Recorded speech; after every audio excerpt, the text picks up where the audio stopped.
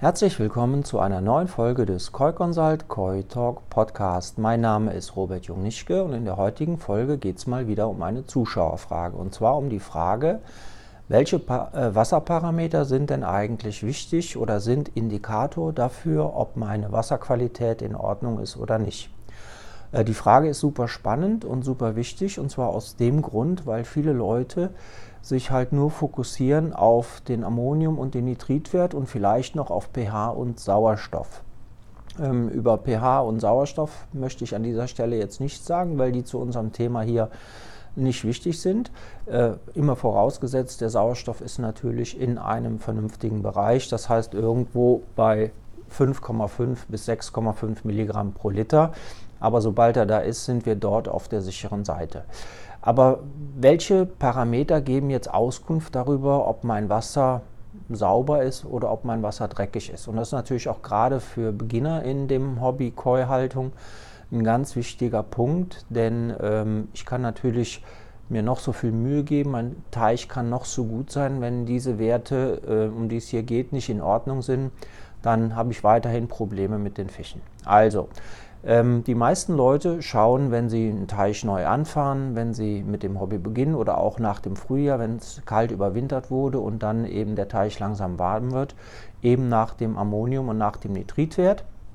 Und wenn die in dem äh, vorgeschlagenen oder vernünftigen Bereich sind, dann setzen sie sich hin und sagen, super, meine Werte sind in Ordnung, jetzt ist alles gut. Ja, wäre ja schön, wenn das so wäre. Denn das eine hat mit dem anderen nichts zu tun. Was will ich damit sagen? Neben Ammonium und Nitrit gibt es auch noch eine bakterielle äh, Wasserbelastung und zwar Aeromonaden, Pseudomonaden, Fäkalkeime, also Enterobakterien und die sogenannte Kolonienzahl. Das heißt, ist die Menge an Bakterien, die überhaupt quantitativ vorhanden sind. Und jetzt ist es leider so, dass Nitrit und Ammonium und diese Bakteriengeschichte nichts miteinander zu tun haben. Das heißt, wir können auf der einen Seite tatsächlich einen geringen Nitritwert und einen super Ammoniumwert haben und auf der anderen Seite haben wir eine hohe Keimbelastung im Wasser. Und eins steht fest, wenn wir die im Wasser haben, dann haben wir garantiert auch Probleme mit den Fischen. Insofern äh, ist es wirklich sehr wichtig, dass man nicht nur Ammonium und Nitrit überprüft und, äh, und dann sagt, okay, prima, alles ist gut, sondern dass man sich auch um die Keimrate kümmert. Ich will das mal an einem einfachen Beispiel verdeutlichen. Ich habe im Frühjahr ja keine Heizung gehabt. Der eine oder andere Zuschauer weiß das, dass meine alte Wärmepumpe kaputt gegangen war. Und dann musste ich ein paar Monate ohne meine Heizung auskommen. Das war genau die kritische Phase, in der der Teich warm wird. Und ich hatte leider auch die Situation, dass ich irgendwo über 16, 17 Grad nie hinauskam. Der Teich pendelte halt im Frühjahr immer um diese Werte. Und erst am 24. Mai war ich über 18 Grad.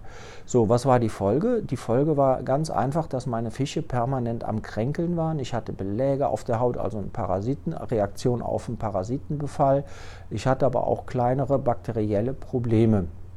Jetzt ist was ganz Interessantes.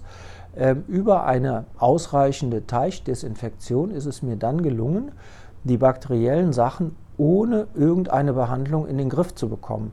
Das heißt, dort, wo eine kleine bakterielle Entzündung war, ist diese zurückgegangen und der Fisch war in der Lage, dann mit der Wärme und mit der äh, Reduzierung der Keimbelastung im Wasser sich selbst zu heilen. Und das ist natürlich genau das, was wir ja eigentlich auch wollen. Aber andersrum gesprochen, wenn ich jetzt nicht hingegangen wäre und die Heizung installiert hätte, die dann den Teich auch auf 23 oder 24 Grad jetzt zurzeit heizt, und wenn ich nicht hingegangen wäre und diese Teichdesinfektion respektive die Reduzierung der Keimrate äh, durchgeführt hätte und auch weiterhin durchführe, sodass ich auf einer ganz niedrigen Keimrate bin, dann würde, wären meine Fische dazu nicht in der Lage und aus einem kleinen bakteriellen Problem würde ein großes und eventuell sogar ein ganz großes. Und deswegen ist es so unheimlich wichtig, sich nicht nur um Ammonium und Nitrit zu kümmern, Sauerstoff und pH, sondern eben auch um das Thema der Keimbelastung im Wasser. Ja, jetzt kommt natürlich die Frage, wie mache ich das am besten? Nun, es, ist, äh, es gibt da zwei Sachen, die man machen kann. Das eine ist, ich muss mich natürlich erstmal schlau machen, wie ist denn meine Keimbelastung? Und dafür bieten Labore entsprechende Sachen an. Das Labor, was mir gerade einfällt, ist Taurus Diagnostik in Bielefeld. Die bieten also einen, so eine Keimbelastung, so eine mikrobiologische Wasseranalyse nennt sich das dort an. Äh, die machen eben das, was ich eben gesagt habe. Die messen die Menge an Aeromonaden, Pseudomonaden, Enterobakterien äh, und eben die Kolonienzahl. Und dann gibt es dort eben auch eine Interpretation der Werte. Das heißt, man kriegt dann ein Ergebnis, wo auch drin steht, ob das in einem günstigen Bereich ist, in einem, naja, demnächst bedenklichen oder schon in einem kritischen Bereich. Und solche Untersuchungen machen ganz viele Hygienelabore. Ähm, ich kann dir nur raten, geh zu einem Labor an deinem Ort, weil das Problem ist, und das kann ich einfach nicht abschätzen, ich glaube aber, es ist eins, wenn so eine Probe gezogen wird und dann einen Tag oder zwei auf dem Postweg unterwegs ist, dann bin ich mir ziemlich sicher, dass das Wasser dann eine andere Belastung hat.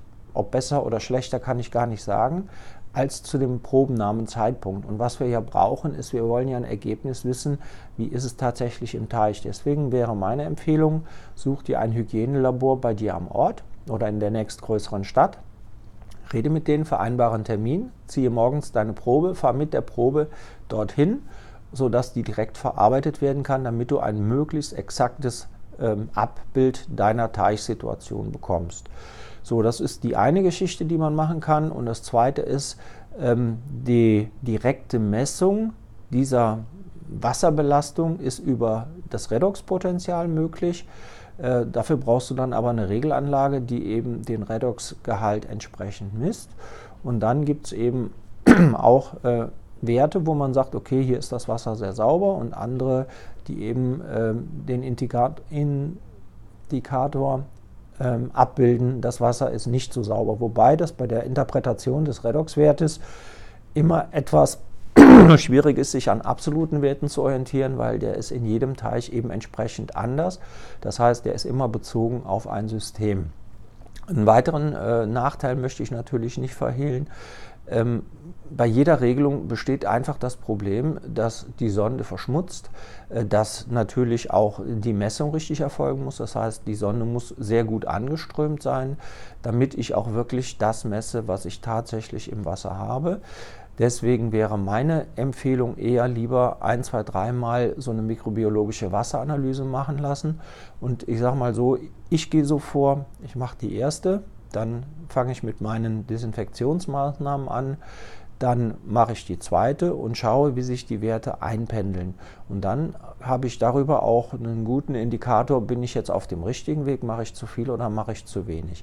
Natürlich setzt das voraus, dass wir auch konstante Bedingungen im Teich haben müssen. Das heißt, wenn du keine Teichheizung hast, wenn wir nicht so einen tollen Sommer haben wie dieses Jahr, wo die Wassertemperaturen im Teich sicherlich immer auf einem hohen Niveau und einem guten Niveau sind, dann musst du dir sicherlich Gedanken machen über die Redox-Regelung, denn ähm, diese ganze, dieses ganze Zusammenspiel aus Desinfektionsmenge plus Keimrate ist natürlich sehr stark auch abhängig von der Wassertemperatur.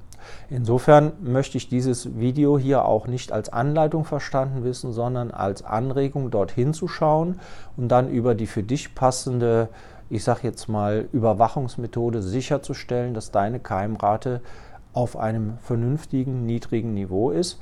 An der Stelle sei auch angemerkt, äh, ich rede hier von einem niedrigen Niveau, äh, ein keimfreier Teich respektive ein komplett steriles System werden wir erstens gar nicht hinbekommen. Zweitens ist auch das nicht erwünscht, denn unsere Fische sollen ja mit einer geringen Keimbelastung auch klarkommen können. Aber wie auch immer, die Dosis macht natürlich das Gift. Und ähm, vielleicht auch, wenn, gerade wenn dein Teich vielleicht grenzwertig ist, was die Technik angeht, was die ähm, Qualität der Filtertechnik angeht, könnte das der Schlüssel zu einer noch erfolgreicheren Keuhaltung für dich sein. Ja, ich hoffe, dieses Video hat dir gefallen. Ich hoffe, es war ein bisschen was Informatives für dich drin. Wenn dem so ist, freue ich mich natürlich, wenn du dieses Video mit anderen teilst. Wenn, äh, denn ich denke, das ist für ganz viele Leute wichtig, gerade Beginner, ich sagte es eben schon mal, neigen dazu, sich vor allen Dingen am Ammonium, am Nitritwert zu orientieren und die Keimbelastung außer Acht zu lassen. Ähm, ich freue mich natürlich auch über jeden neuen Abonnenten. Insofern, wenn du noch kein Abonnent bist, dann abonniere doch einfach meinen Kanal und du wirst keine Folge mehr verpassen. Ich danke dir, dass du da warst. Vielen Dank fürs Zuschauen und bis zum nächsten Mal auf meinem Kanal, dein Robert Jungnischke.